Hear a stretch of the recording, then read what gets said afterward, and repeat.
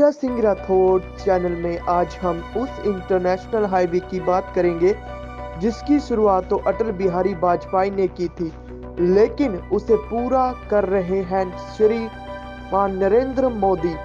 यह वो international highway है जो सिर्फ़ दो ही नहीं, बल्कि तीन तीन देशों से होकर गुजर रहा है। और भविष्य में चार और देश इस इंटरनेशनल हाईवे से जुड़ जाएँगे। ये इंटरनेशनल हाईवे साबित होने वाला है, जिससे दुनिया के 10 देशों में चीन का कारोबार आधा रह जाएगा और भारत का व्यापार दो गुना हो जाएगा। हीरा सिंह राठौड़ में आज हम 1400 किलोमीटर के भारत म्यान थाईलैंड इंटरनेशनल हाईवे के बात करने वाले हैं, जिसकी नींव 21 वर्ष पहले 2002 में अटल बिहारी वाजपेयी की सरकार ने रखी थी।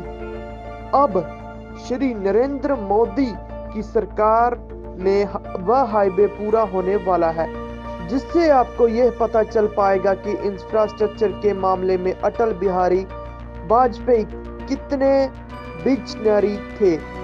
हीरा सिंह राठौड़ चैनल में मैं आपको देश के विकास के नए नए कामों के बारे में बताता हूँ।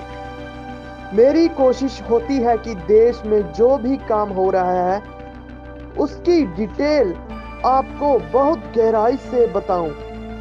इसलिए अगर आपको मारी वीडियो अच्छी लगती है तो मेरे चैनल को कर लीजिए सब्सक्राइब और दोस्तों को भी ऐसा करने के लिए उन्हें कहें, अब बात करते हैं उस प्रोजेक्ट की जो अटल बिहारी वाजपेयी के दिल के बेहद करीब थी। लेकिन सरकार चली जाने के कारण उसे पूरा होते हुए वे नहीं देख पाए। आपने स्टेट हाईवे के बारे में सुना होगा, नेशनल हाईवे के बारे में भी सुना होगा, लेकिन क्या कभी आपने इंटरनेशनल हाईवे के बारे में सुना है? जी हाँ कम ही लोगों ने सुना होगा। इसलिए आज हीरा सिंह राठौर चैनल पर इंटरनेशनल हाईवे की बात करेंगे। सबसे पहले यह समझ लीजिए कि एक देश से दूसरे देश में प्रवेश करने वाले हाईवे को इंटरनेशनल हाईवे कहते हैं। यह तब बन पाता है जब दो देश इसके लिए राज़ी हो, सोचिए कि आप कोलकाता से में गाड़ी से एक हाईवे पर प्रवेश कर, करें और उसी हाईवे से बिना किसी सड़क को बदले आप म्यांमार होते हुए थाईलैंड पहुँच जाए। 100-200 नहीं 1400 किलोमीटर की यात्रा एक ही सड़क पर हो जाए, यह बात सुनने में बहुत अच्छी लग रही है। लेकिन बहुत मुश्किल और इस मुश्किल काम को पूरा करने का सपना देखा था। अटल बिहारी वाजपेयी ने भारत से थाईलैंड के बीच म्यांमार होते हुए एक सड़क बनाई जा रही है। इसे आईएमटी हाईवे का नाम दिया गया है। इंडिया, म्यांमार और थाईलैंड तीन देशों को जोड़ने वाला ये हाईवे कोलकाता से शुरू होकर सिलीगुड़ी तक जाता है और फिर कूच बिहार होते हुए असम में प्रवेश करता है। असम से होते हुए दीमापुर और नागालैंड के बाद मणिपुर के इम्फाल में से यह सड़क विदेश यानी म्यांमार में प्रवेश कर जाएगी। म्यांमार में बागों और यंगून होते हुए यह हाईवे थाईलैंड में प्रवेश कर जाएगा। इस इंटरनेशनल हाईवे की कुल लंबाई करीब 1400 किलोमीटर है और 70 फ़ीसदी काम पूरा हो चुका है। थाईलैंड में आईएमटी इंटरनेशनल हाईवे का नौ फ़ीसदी काम पूरा हो चुका है। आने वाले कुछ महीनों में भारत में भी इसका काम पूरा हो जाएगा। मणिपुर में हिंसा के कारण का इसका काम थोड़ा रुक गया था। भारत सरकार इस इंटरनेशनल हाईवे के निर्माण के लिए सहयोगी देशों को करीब तिरासी सौ करोड़ कर दे रही है। इस हाईवे के बन जाने से इसमें शामिल सभी देशों को मिलाकर हर वर्ष 70 बिलियन अमेरिकन डॉलर का फ़ायदा होगा, जबकि दो करोड़ लोगों को इस हाईवे में डायरेक्ट या इनडायरेक्ट रोज़गार मिलेगा। साल 2020 में बांग्लादेश इसे ढाका से कनेक्ट करने का प्रस्ताव दिया आने वाले दिनों में। लाओस, कंबोडिया और वियतनाम को भी इस हाईवे से जोड़ने का प्लान है। अब जरा समझिए कि इस इंटरनेशनल हाईवे के बनने के बाद क्या फ़ायदा होगा? अगले एक दशक में भारत की जीडीपी मौजूदा तीन दशमलव चार ट्रिलियन अमेरिकी डॉलर से दुगनी ज़्यादा आठ दशमलव पाँच ट्रिलियन डॉलर हो जाएगी। तो इसे देश की दुनिया की तीसरी सबसे बड़ी अर्थव्यवस्था बना देगी। इस अवधि के दौरान भारत की दुनिया की कुल जीडीपी में पांचवी या 20 फ़ीसदी हिस्सेदारी होगी और भारत हर साल अपने जीडीपी में 400 बिलियन डॉलर जोड़ेगा और आगे चलकर भारत, अमेरिका और चीन से भी आगे निकल सकता है।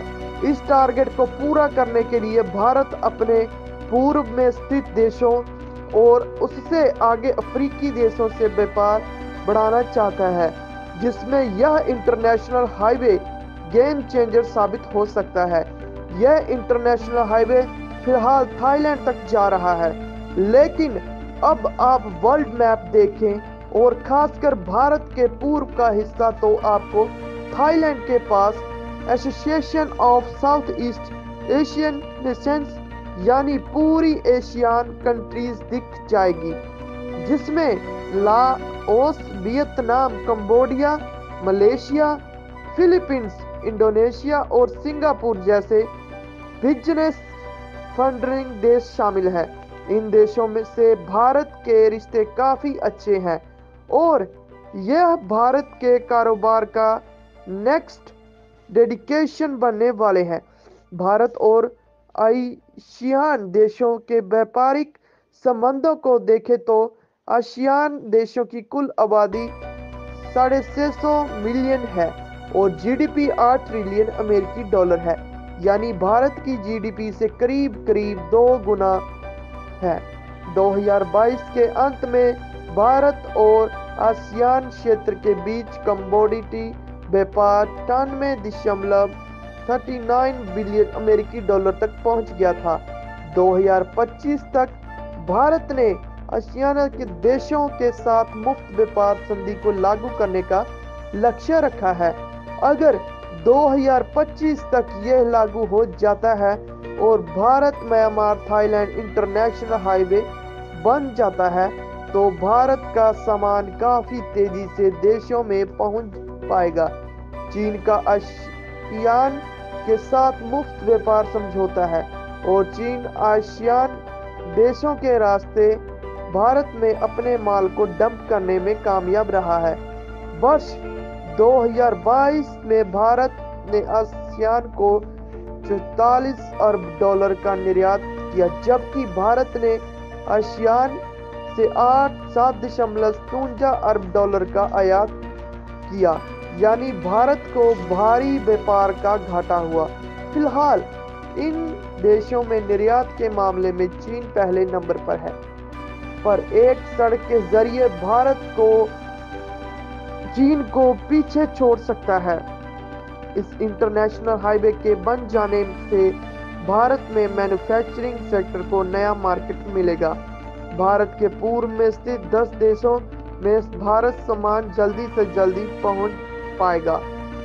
लॉजिस्ट कॉस्ट यानी सामान लाने, ले जाने में जो खर्च होता है, उसमें कमी आएगी। इन देशों में चीन का बढ़ावा बढ़ता प्रभाव भी काफ़ी कम हो जाएगा।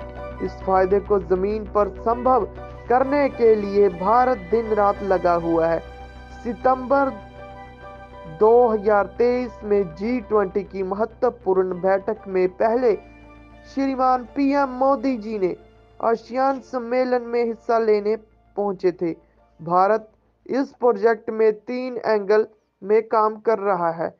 पहला एंगल डिप्लोमेसी क्रेडिट लाइन यानी पड़ोसी देशों में सड़क निर्माण के लिए कर्ज भारत में तेज़ी से सड़क निर्माण डिप्लोमेसी का विदेश मंत्री एस जयशंकर के हिस्से है।